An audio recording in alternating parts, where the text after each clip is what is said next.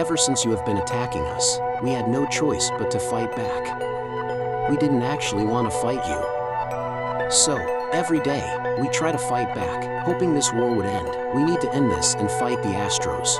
Please, we can't be doing this forever.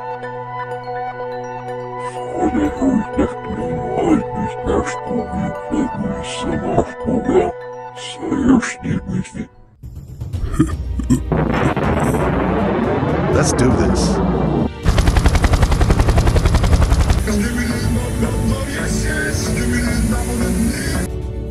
Soft snow.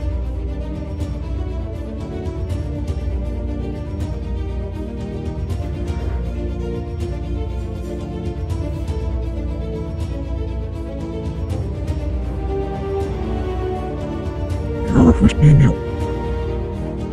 Okay, you go call for backup just in case, while they construct my body.